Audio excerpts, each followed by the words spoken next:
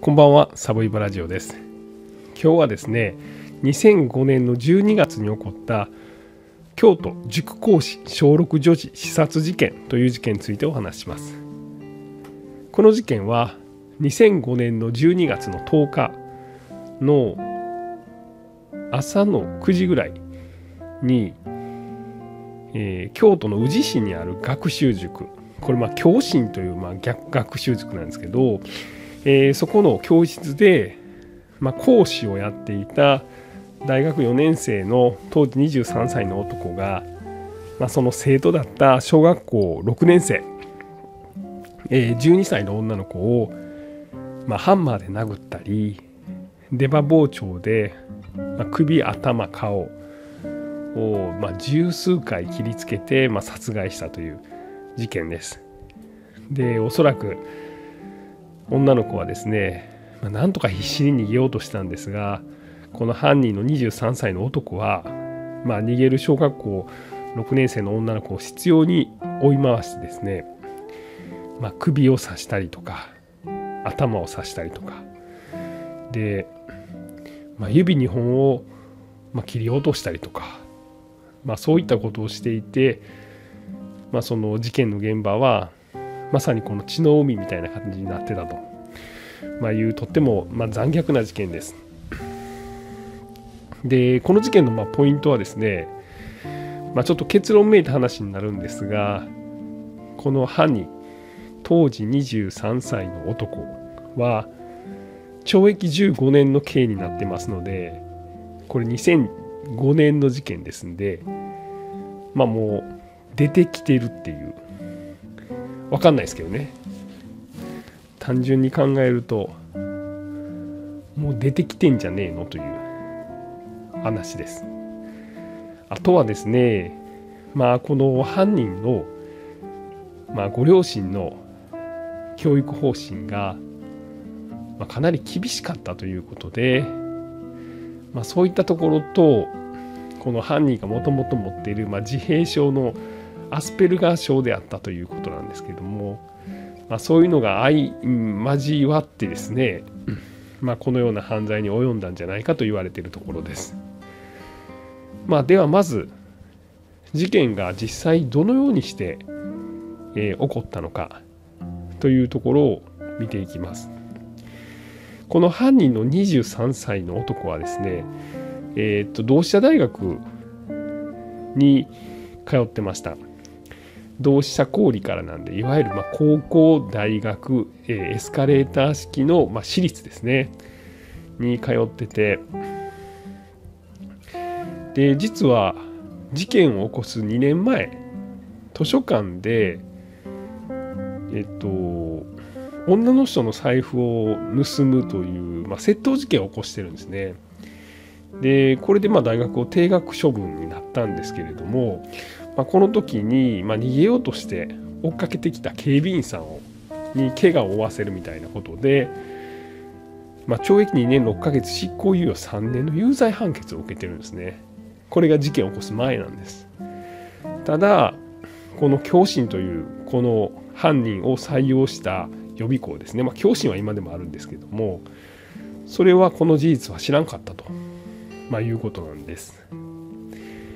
で事件後、まあ、学習塾の、まあ、先生になるわけなんですが、まあ、いろんな週刊誌とかにはですね、まあ一言で言うとロリコンであったと、まあ、いうようなことが書かれてます。えー実際この被害者の女の子もまあとても可愛らしい女の子なんです。ですが、まあ、この女の子に対してですねこの犯人は人一倍執着するんですね。例えば面談もですね他の人はもう数十分なのを、まあ、1時間20分ぐらいですね学校は楽しい塾は楽しいお父さんは好きみたいなのを聞いてですね女の子が「うん学校も塾もお父さんも好き」みたいなふうに答えたら「いや君はそうやって言ってるけど僕はちょっと心理学を学んでるから分かるんだ」と「君は嘘をついてるね」は？あみたいな感じなんですけど、まあ、とにかくそんなことを言ったりとかまあこうそばに寄ってきてですねまあこう体を触ろうとしたりとか、まあ、そういうようなことを塾の中でも、まあ、やってたので、まあ、生徒の間では、まあ、キモいとかですね変なやつとかですね、まあ、そんな風に言われてました。でこの被害に遭った女の子も、まあ、体を触ってきたりするんでもうこの塾をやめたいと、まあ、両親には言ってたんですね。で両親が、まあ、こんなこと娘言ってるんだけどどうしてくれるんですか？例えば先生を変えてくれたりできないんですか？みたいなことを言ってですね。でこの教師の,、まあその校長もですねこの犯人に対して、もうちょっと普通にできへんとかいろいろ言ってみたんですけれども、まあ、逆にそれがですね俺はなんでこんなに彼女のことを一生懸命やってんのに彼女は俺のことをないがしろにしたりキモいとか言ったりするんだと、まあ、いうふうに、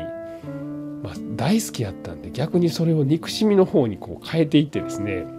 でついに女の子がもう辞めるからまあ、この担当を変えてほしいということを、まあ、きっぱり塾側に言いましてですねで塾側も分かったともう変えると、まあ、いうことを決めたその日やったかその次の日にこの犯行が行われてしまったということなんですね。この犯人の23歳の男は事前にハンマーと包丁を買ってですねカバンに入れて学校に持ってきます。でこの被害者の女の子たちはいわゆるま中学受験で、まあ、12月なんでもう追い込みの段階ですよね。で、まあ、朝からまあテストやったか何かやったんですけれどもこの犯人は13人ぐらい来てた生徒たちを国語のアンケートを取るから別室にちょっと移動しなさいと言ってこの被害者の女の子と2人っきりになります。で教室内には防犯カメラがついてるんですけれどもそのスイッチを切ってですねでまあ彼女が椅子に机に向かって座ってるその後ろからハンマーで殴りつけてその後、まあ、包丁で首を刺していったと、まあ、いうことです。ではこの犯人がですね、まあ、一体どんな生い立ちを経て、まあ、こういう犯行に及んだのかというのを見ていきましょう。えー、犯人は父親が会社員ですね。でお母さんまあまあ何て言うんですかねヨガとかやってはったそうなんですけどとにかくしつけが厳しかったと、えー、お菓子がダメとか。で、まあ、勉強のために、まあ、遊びはダメとか。で何か悪いことしたらトイレに閉じ込められると。でこれでですねまあその閉じ込められたこの犯人、まあ、子供の頃ですね。出せ出してくれみたいなことを、まあ、叫んでた声が、まあ、近所でよく聞こえてたという、まあ、そういう証言があります。あと、まあ、夜中にですね勉強をしてる間なんでしょうかね x2 乗プラス y イコールみたいなことを大声を上げたりとかうおーらとか、まあ、そういうことをよくしてたそうです。でまあ、高校生ぐらいからですねお母さんに対する、まあ、家庭内暴力、まあ、多分ですね幼少期の、まあ、厳しいしつけがこれひっくり返るんですよねあんまりやりすぎると。で、えー、高校ぐらいの時にはですねお母さんを殴ってですねお母さんが救急車で運ばれるみたいなこともありました。で結果的にですね2003年事件の2年前に、まあ、じあの窃盗事件を起こしてましてでその頃からちょっとうつ病っぽくなりまして、まあ、アスペルガーの方って結構うつ病になるらしいんですけどで、まあ、事件の前もですねえー、っと薬を飲んでたそうなんです。これが何やったかな？フルボキサミンマレインという、まあ、薬なんですけどうつ病の薬なんですけどこういうのを飲んでたそうなんです。で結果的にですねえっと懲役18年の求刑がありましてで、えー、懲役15年の、えー、懲役刑が言い渡されています。なのでもうぼちぼち出てきてるんじゃないかなと思われます。ちなみにですね、まあ、ご両親はですねこの塾側ですねこの教師相手に、